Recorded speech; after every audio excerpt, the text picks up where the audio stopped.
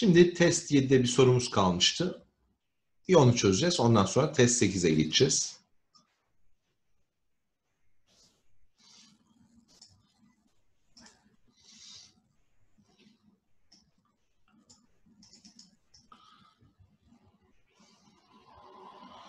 Evet, test e, 7'deki son sorumuz. Çok yanlış çıkmıştı. Bir bakalım şu soruya. Diyor ki, bir test, bir uzman eğitimde kullanılan değerlendirme süreçlerinde ölçütün amaca uygun olması gerektiğini söylüyor. Ne demek bu ölçütün amaca uygun? Şuraya ölçme diyelim. Şuraya da değerlendirme diyelim. Mesela bir sınav yaptım. 80. Geçme ölçütü koydum. 50. Ee, bu geçer dedim. Geçti dedim. Falan. Şimdi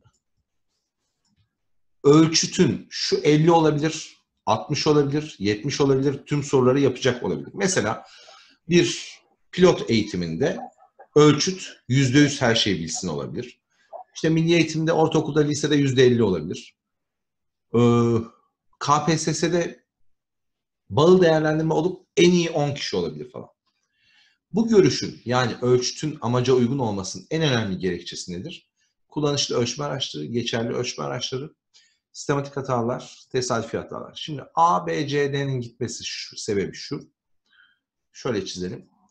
A, B, C, D'nin tümü ölçme sürecinin geçerliği, ölçme sürecinin güvenirliği, ölçme sürecinin hataları ile ilgilidir.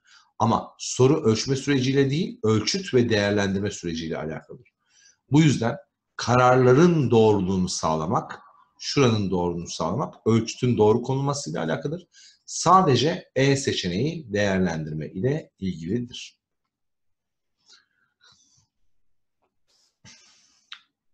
Amaca uygun denince aklıma sistematik hata geldi. Ölçütü göz ardı etmişim diyor. Evet. Ee, zaten ben de okurken şunu fark ettim. Amaca uygunluk lafı geçince hemen insanlar geçerlik falan aklına geliyor. Ee, ama anahtar bir kelime burada bizi e, çamura saplıyor. E, anlaşıldı zannedersem konu. Zor bir soru. E, dikkatli okumak lazım. Geçtik. Şimdi test 8'e geldik. Efendim test 8.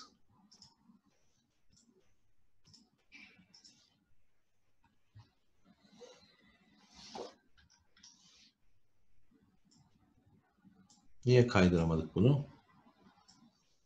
Allah Allah.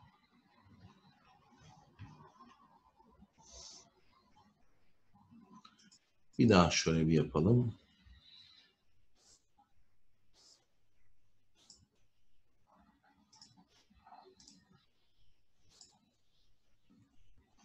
Evet. Şimdi test 8'deyiz. Ee, biraz küçültelim şunu. Birinci soruyu topyekun görelim.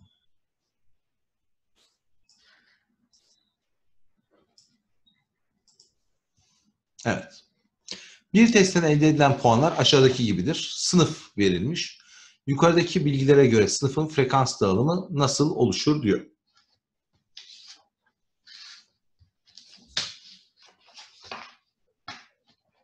Şimdi bu tür soruları çözmek için baştan bir elle çizmek lazım. Sonra alışkanlık olunca bunu gözle de görebiliriz. Şöyle çizelim. 10'dan 2 tane var. 20'den 2 tane var. Şuraya 2 diyelim. Şuraya mesela 10 diyelim. Şuraya 20 diyelim. Şuraya 30 diyelim. Bundan 2 tane var. Bundan 2 tane var. Bundan 2 tane var. Bundan 2 tane. Bundan 2 tane. Bundan 2 tane. Şöyle bir grafik ortaya çıkıyor. Bu grafiğin karşılığı da D'dir.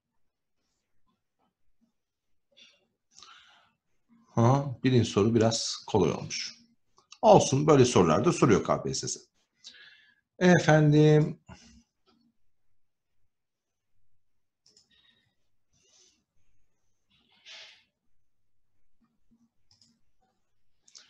Şimdi ikinci sorumuz. Evet siz okuyun.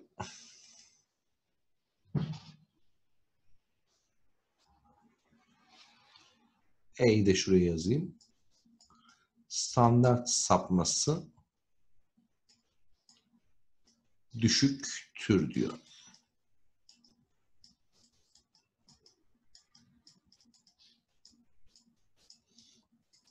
Yukarıdaki grafik ile ilgili aşağıda söylenenlerden hangisi doğrudur diyor. Şöyle sivri bir dağılım. E, ranjı sıfır değildir. Ranjının sıfır olması için bakın mesela şurası atıyorum 20 ise şurası da 40 ise bir standart sapma var. Şurada bir range var, bir sapma var. Tüm sınıf aynı puanı almıştır. Hayır. Öğrenci puanları eşit sayıda tekrarlanmıştır. Hayır. Mesela şuradaki puan 4 ise şuradaki puan 7'dir. Aynı sayıda tekrarlanmamıştır. Sağ çarpık değildir, simetriktir. Standart sapması düşüktür, doğrudur. Hatırlayalım bir. Şöyle yapıların standart sapması düşük oluyordu. Şu yapının biraz daha standart sapması büyüyordu. Şu yapının biraz daha büyüktü. Aşağıya doğru indikçe standart sapma büyüyordu. Şöyle baktığımızda şurası standart sapma en düşük yapı. Şu ters U pozisyonu ise standart sapmanın en büyük olduğu yapı idi.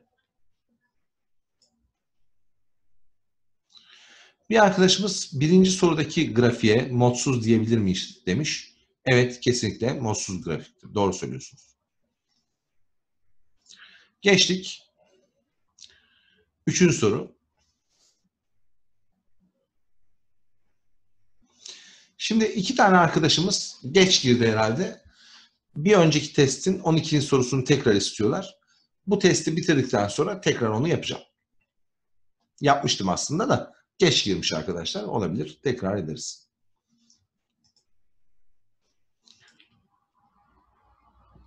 Aşağıdaki kavramların hangisinin düzeyi test uygulamaya girmeden saptanabilir? Oh, çok güzel. Zor değil ama çok güzel bir soru.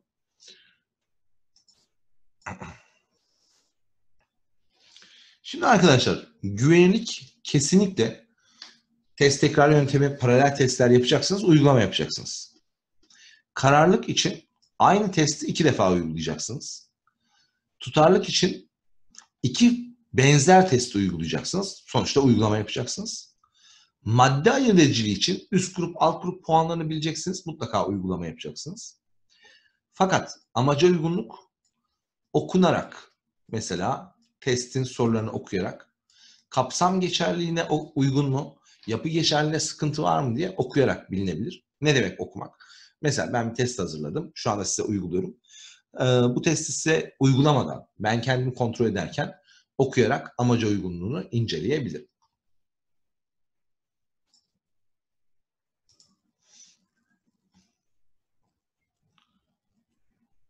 Şimdi sorular var. Hocam iş tutarlıktan da bahsedebiliyoruz güvenliği. Bu biraz kafamı karıştırdı. Şimdi Burak Hoca bir şey sormuş. Diyor ki hocam iş tutarlıktan da hesaplayabiliyoruz güvenliği. Tamam. Cevap veriyorum. Bu diyor ki uygulamaya girmeden diyor. Ben de şunu sorarım o zaman. Peki iş tutarlık hesaplarken uygulamadan mı iş tutarlık hesaplıyoruz? Hayır. Mesela KR20, mesela KR21, mesela alfa kromba hesaplıyoruz iş tutarlıkta. Onların hesaplanması için aritmetik ortalama varyans gibi uygulama sonunda elde edilmiş olan değerlere ihtiyacımız var. Dolayısıyla iş tutarlık dediğimiz şeyi kesinlikle uygulama ile elde ediyoruz. Uygulamadan sonra elde ediyoruz. Bu güzel bir soruydu. Bir soru daha var. Ee, hocam bir daha söyler misiniz? Ee, Hatice Hoca neresini istiyorsunuz? Söyle e, şey yapayım. Hocam pilot uygulamayı ne zaman yapıyorduk diyor Betül. Şöyle. E, şimdi pilot uygulama dediğimiz şey mesela benim şu anda bu testi çözmem. Sonrasında da bunun bir bir sene sonra falan dershanelere söyle, pardon yayın evlerine söyleriz. Deriz ki biz bunları çözdük, YouTube'a da attık. İstiyorsanız size verebiliriz. Hani satabilirim ben yayın evine bunu. Kabul ederse eder, etmezse etmez. Diyelim ki kabul edildi. Ben de sizden aldığım geri bildirimlerle bu testlerde hata varsa şu anda yaparken düzeltirim. İşte bu bir pilot uygulamadır. Daha sonrasında Türkiye geneline girmesi gerçek uygulamadır. Mesela şu anda yaptığımız şey pilot uygulamadır. Ee, hı, tamam anladım. Ee, cevap veriyorum Hatice Hoca'ya. Ee, demiş ki önemli buraları not almak istiyorum. Tekrar anlatıyorum. Aşağıdaki kavramların hangisinin düzeyi test uygulamaya girmeden saptanabilir diyor. Şimdi güvenlik test tekrar yöntemi paralel testler yöntemiyle incelenir. Artı bir de iç tutarlılıkla incelenebilir. Bu güvenliği denetleme yolları diye kitaplarda vardır. Ben de derslerde anlatıyorum. Bunların hepsinde sınavı uygulayacaksın. Bazısında bir kere uygulayacaksın, bazısında iki kere uygulayacaksın ama uygulayacaksın. Kararlılık dediğimiz şey test tekrar yöntemidir ve aynı testi iki kez uygulayacağız. Tutarlılık dediğimiz şey iki benzer paralel testi uygulayacağız. Bunda da iki uygulama vardır ve iki paralel test kullanılır. Madde ayırıcılığı için bir uygulama yeterlidir. Bir uygulama sonucunda üst grup ve alt grup puanlarını alacağız, karşılaştıracağız. Sonuçta A, B, C, D'nin tümünde uygulama gereklidir. Ama ben hiç uygulama yapmadan sadece soruları okuyarak kapsam geçerliğini ve yapı geçerliğini kontrol ederek inceleyebilirim. Geçtik. Ee, şunu işaretleyelim. Siz bir okuyun.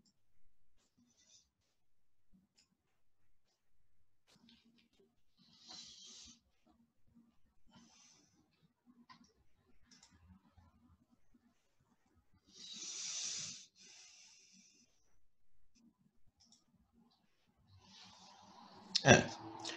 Bin kişilik öğrenci grubuna uygulanan sosyal bilgiler testinin puan aralıklarına göre öğrenci yüzdeleri verilmiştir diyor. Testte 100 soru 1 puan karşılığı olarak 0-100 skalasında ölçülmüştür. Sınavda düzeltme formülü kullanılmamıştır. Sınav sonuçlarına göre ortanca medyan puanı hangi aralıktadır? Ee, şimdi bir şey göstereceğim size. Çok basit bir şey. İyi konsantre olun şimdi. Şunu bir büyütelim. Bu tür sorularda bu teknik çok önemlidir.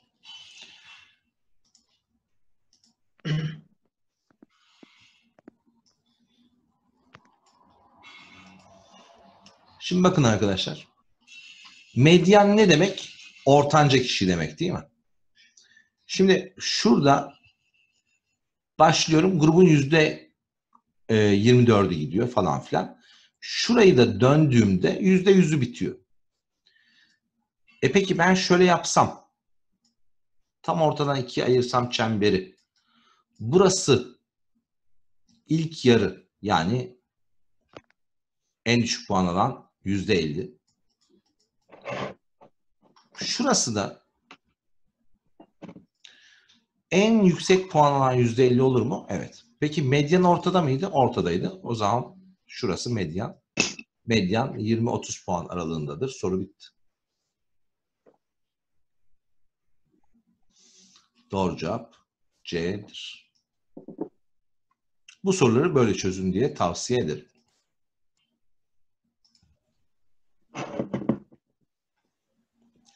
Beşinci soru. Yukarıdaki soruyla bağlantılı. Sınavın dağılım yapısı ile ilgili aşağıdaki ifadeler hangisi doğrudur? A test öğrencilere zor gelmiştir. B öğrenci puanları normale yakın dağılım göstermektedir. C öğrenci puanları pozitif yığılmalıdır. D testin aritmetik ortalaması 100 üzerinden 50'nin üzerindedir. E sınavda başarılı sayılma kriteri 50 puan almak ise sınava katılanların %50'sinden daha fazlası başarılı olmuştur diyor. Şimdi bunu yapmak için Şöyle bir şey yapalım.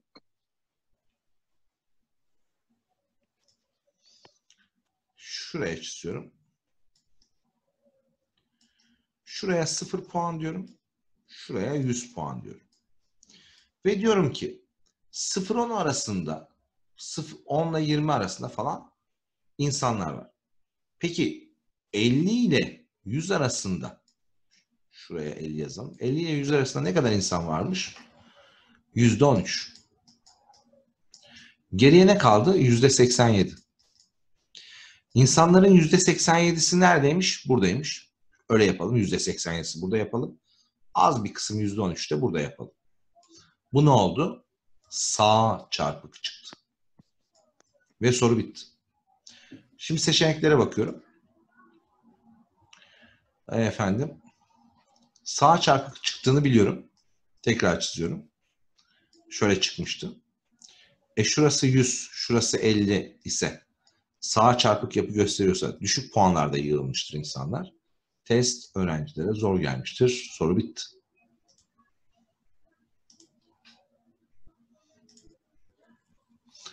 Geçtik. 6. 6'yı işaretliyorum. Siz bir okuyun.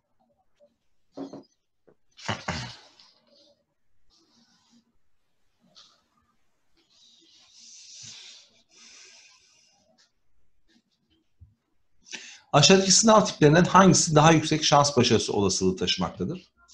5 soruluk açık uçlu sınavda şans başarısı olasılığı hemen hemen yüzde sıfırdır.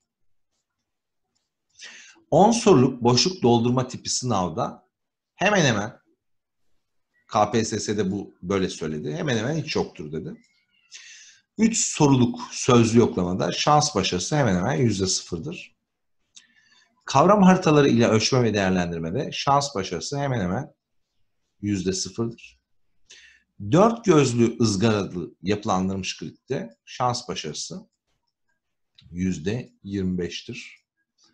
Ee, tabii bu düzeltme formülü var, değişik bir formülü var. İşte onunla değişebilir falan ama sonuçta diğerleri e, yüzde sıfırdır. Güzel.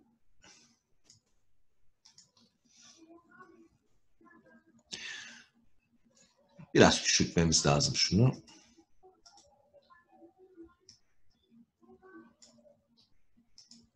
Evet. Yedinci sorumuz. Küçülttük. Siz bir okuyun.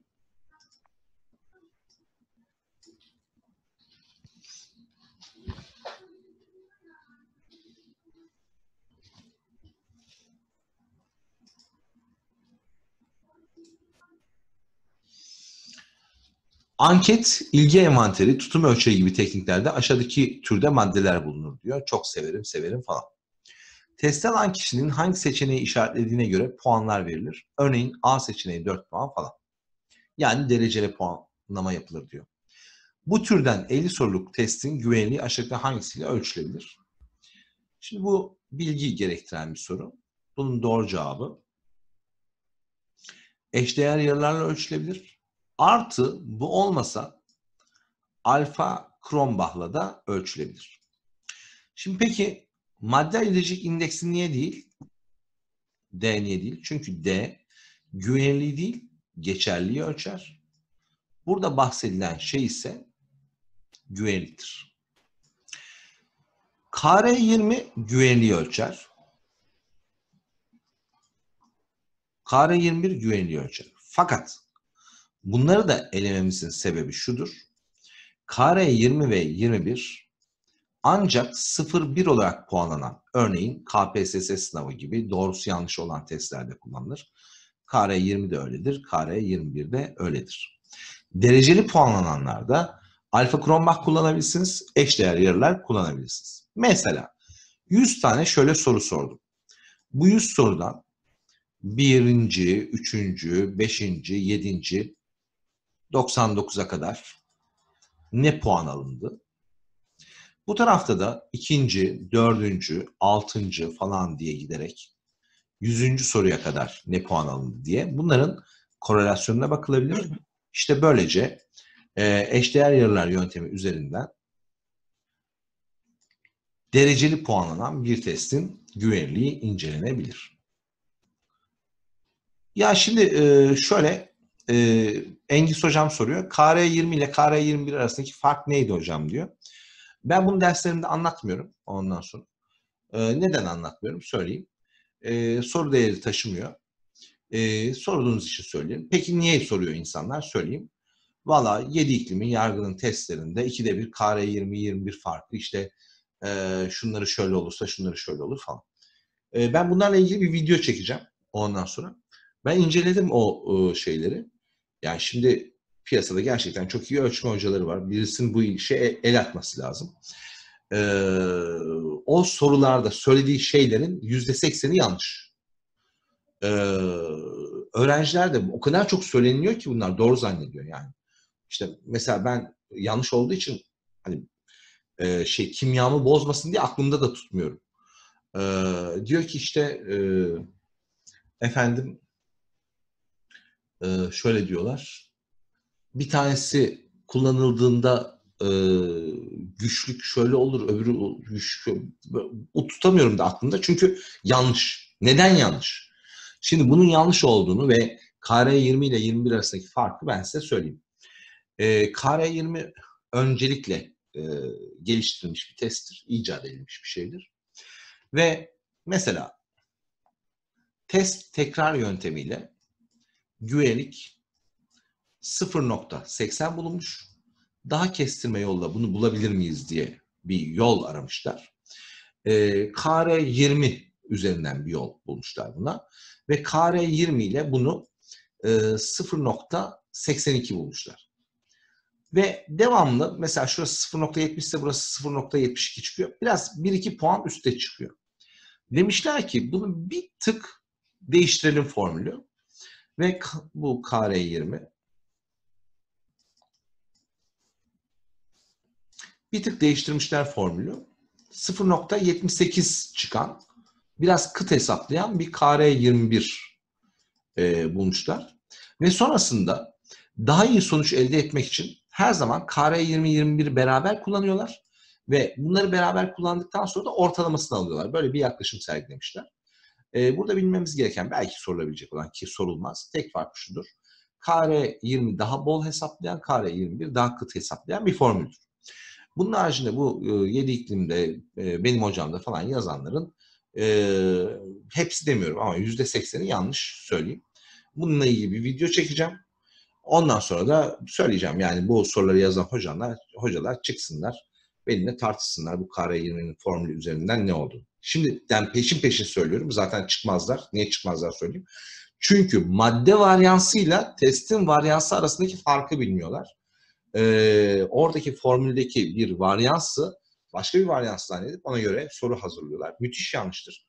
Mesela PEGEM'de dikkat edin. Ee, böyle KR20-21 farkıyla ilgili hiçbir e, soru yoktur ondan sonra.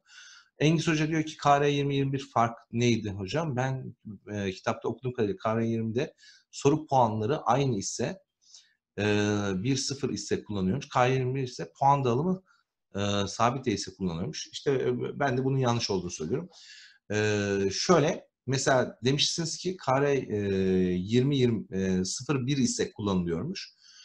E, cevap veriyorum. E, KR20 de KR21 de 0-1 olarak puanlanan testlerde kullanılır. Dereceli puanlananlarda ise alfa krombak kullanılır. Ee, ha bak çok enteresan bir şey çıktı şimdi. Engis Hoca diyor ki ben onun için bu soruyu yanlış yaptım diyor ondan sonra. Ee, bizim şeyi e, PEGEM'in bu bölümünü e, yanılmıyorsam değiştirmedilerse Fikret Konca Hoca yazdı. Fikret Konca Hoca doğru anlatıyor orada. E, KR20'de 21'de 0-1 olarak puanlanma ikisinde de KR20'de de 21'de de vardır. Sadece alfa krombak dereceli puanlanır falan filan. Efendim hikaye budur. Ee, ama bununla ilgili hiç KPSS'de soru değeri taşımaz ama sadece bir açıklık getirsin diye bir video çekeceğim. Efendim geçtik. 8, 9. sorular. 8. soru çok güzel bir soru. Efendim diyor ki siz okuyun.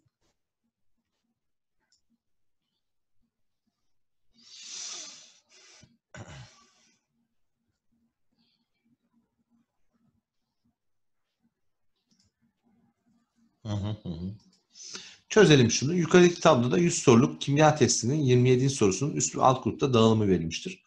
Doğru cevap A'dır diyor. Şimdi doğru cevap A ise e, yukarıdaki sorun madde güçlüğünün 0.50 olması için diyor. Şimdi 0.50 olması için 100 burada, 100 burada, toplam 200 kişi var. 0.50 %50'si yapmış demektir.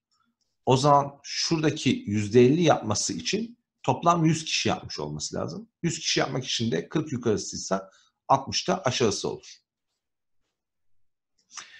Şimdi bu pozisyonda e, diyor ki alt grupta doğru cevap veren öğrenci sayısının kaç olması gerekir diyor. Ha bulduk. 60.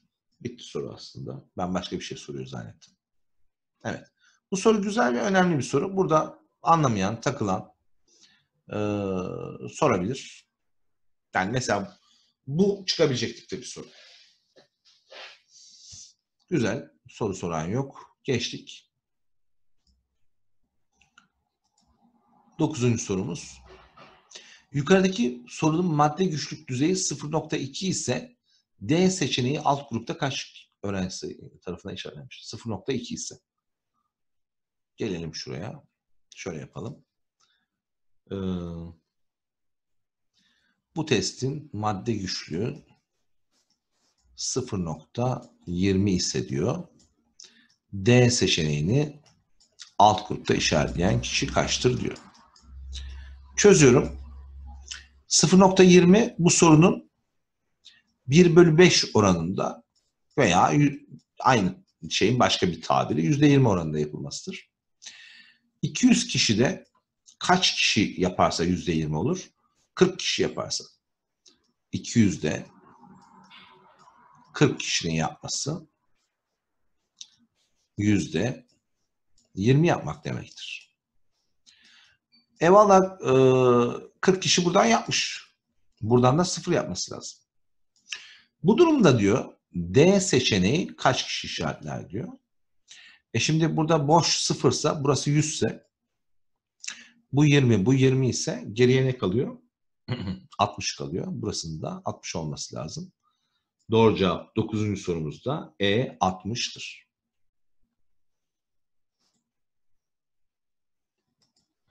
Evet bu soruda çıkabilecek tipte bir soru. Bununla ilgili son soru 10. soru. Yukarıdaki soru madde ayırt 0 ise alt grupta doğru cevap veren öğrenci sayısı kaçtır? Buraya taşıyorum ve diyorum ki bu sorunun madde ayırt ediciliği sıfırsa alt grupta doğru cevap veren kaç kişidir? Doğru cevap A olduğuna göre madde ayırıcı sıfır olması için üst grupta alt grubun aynı olması lazım. 40'a 40 olması lazım. Bunun için de alt grubun 40 olması lazım. 10. sorunun da doğru cevabı E seçeneğidir.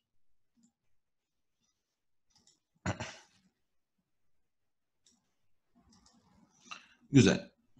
Geçtik. Nur Eda öğretmen. Nereden bulmuşum ben bu ismi? Nur Eda öğretmen. Bir daha şunu küçültelim. Nur Eda öğretmen 9. sınıfların 5 şubesinde aynı testi uygulamıştır. Sınıfların dağılımları çok farklıdır. Aşağıdaki 5 seçenekte 5 şubenin frekans puan, puan grafikleri verilmiştir. Hangi seçenekte şubenin varyansı en yüksektir?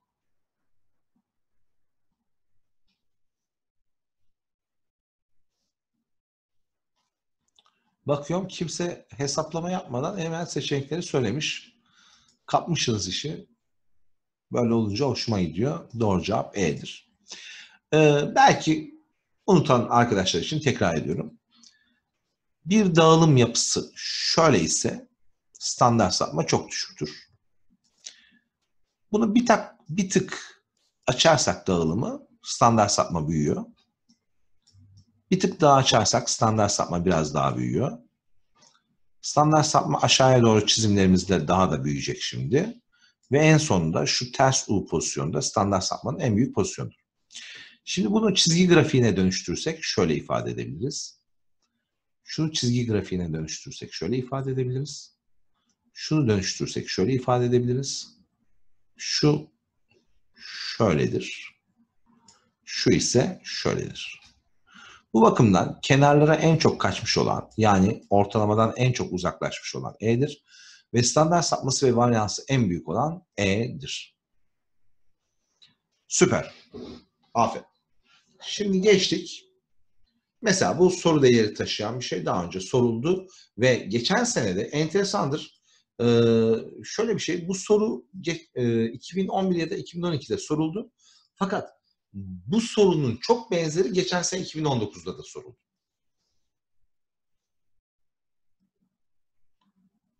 Hatice Hoca, inanmıyorum ya kaçırdıklarıma.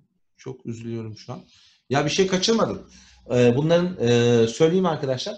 Şimdi biz bir sürü ders çektik. Ee, bu dersleri e, YouTube'a atacağız ondan sonra.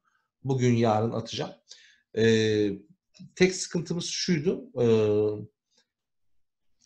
bir intro hazırlamaya çalışıyorduk. Önüne arkasına böyle havalı bir şey yapalım da işte Murat Sakin'le eğitim falan diye bir giriş videosu olsun falan. Gariban gözükmesin diye.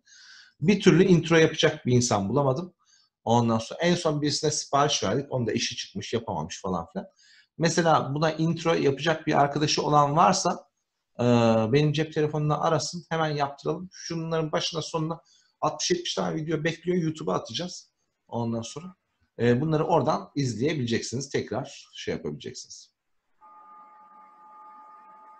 Ya Nisan teşekkür ederim de ya şimdi tek başıma e, mesela şimdi adamlar dershane kurmuşlar bir şey falan. Şimdi ben bakıyorum Pegem'in videolarında çıkmışım. Pegem çok güzel bir giriş şeyi yapmış. Yani e, çok hoşuma gidiyor. E, ona benzer bir şeyler yapmak lazım. Çok para harcanacak bir şey de değil. Güzel olsun, göze hoş görünsün falan. İnşallah yaptıracağız. Güzel olacak. Hocam ha ha tamam. Şimdi bir arkadaşımız talip oldu bu işe. Arkadaşlar hepiniz için söylüyorum. Ee, benim cep telefonum 0505 506 52 92 Şimdi e, bunu bir arkadaşımız sordu. İşte o intro için yardımcı olacak herhalde. E, arasın beni. Fakat ben niye veriyorum bu cep telefonunu? Daha önceki derslerde de verdim. E, beni gruplara dahil etmeyin diyorum. Çünkü çok grup oluyor falan. Bana WhatsApp'tan soru atabilirsiniz. İstediğin soruyu. Yani mesela işte eleştirdim biraz önce KR20 sorusu falan filan. Ama yanlış sorudan da bir şey öğreniyor insan. Ee, arayanlar biliyordur e, WhatsApp'tan. Soruyu görüyorum, sesli mesaj atıyorum, çözüyorum soruyu. Ondan sonra hatta bazı arkadaşlara sokratik sorgulama bile yapıyoruz. Şöyle olursa ne düşünüyorsun, böyle olursa ne düşünüyorsun diyorum. Onu da beceriyoruz sesli mesajlar. İstediğin soruyu atabilirsiniz. Ha o anda e, cevap veremiyorsak da dersteyizdir. Sonra döner cevap veririm ben. Efendim ee, teşekkür ederim. Bunları anlatırsam reklama girer ee, ama benim hoşuma gitti. Devam. Efendim 12. sorumuz. Biraz büyütüyorum. Efendim nasıl büyütüyordum? Şuradan büyütüyordum. Bayağı büyüteceğim şimdi bunu. Oh. Güzel. 12. sorumuz. Uygulanan bir sınavda sonuçlar düşük bulunarak tüm öğrencilere 10 puan eklenmiştir. Bu uygulama ile ilgili aşağıdaki ifadelerin hangisi kesinlikle doğrudur? Sınıfın modu değişmemiştir. Ee, sınıfın aritmetik ortalaması değişmemiştir. Sınıfın medyanı değişmemiştir.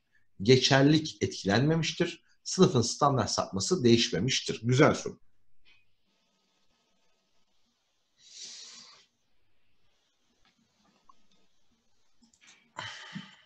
Hmm, güzel, güzel.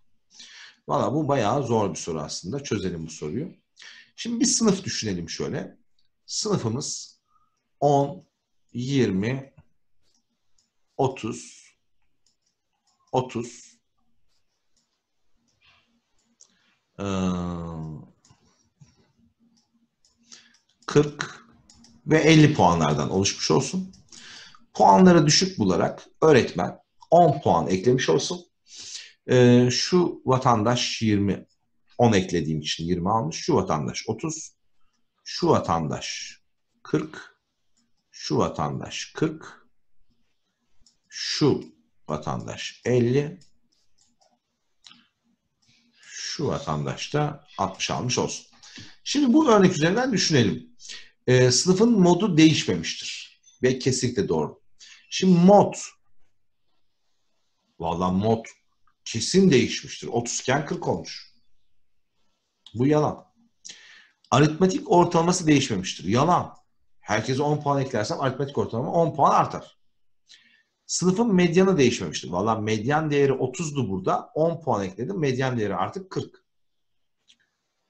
Geçerlik etkilenmemiştir. Oo enteresan. Şimdi bu sabit bir hata. Sabit ve sistematik hatalar geçerliği etkiliyordu. Tesadüfi hatalar güvenliği etkiliyordu. Hayır, sabit hatadır. Geçerli kesin etkilenmiştir.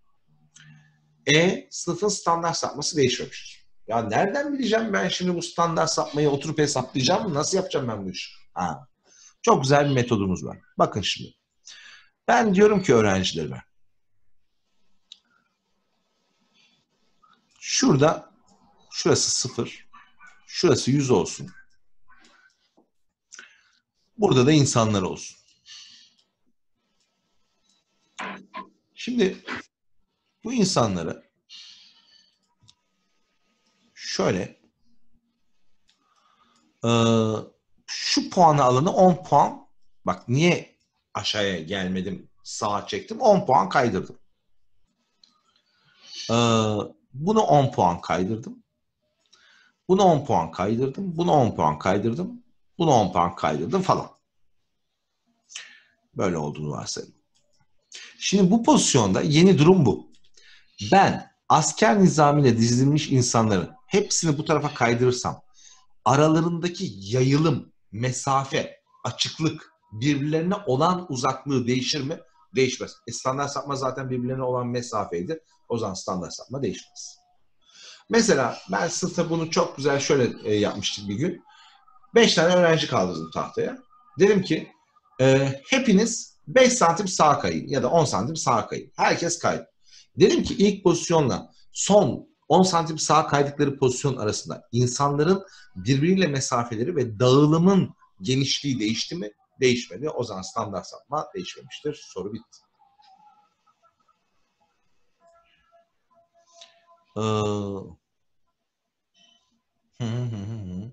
Evet. Standart sapma sabit hata olduğu için. Şimdi çok güzel sorular var burada. Tek tek cevap veriyorum.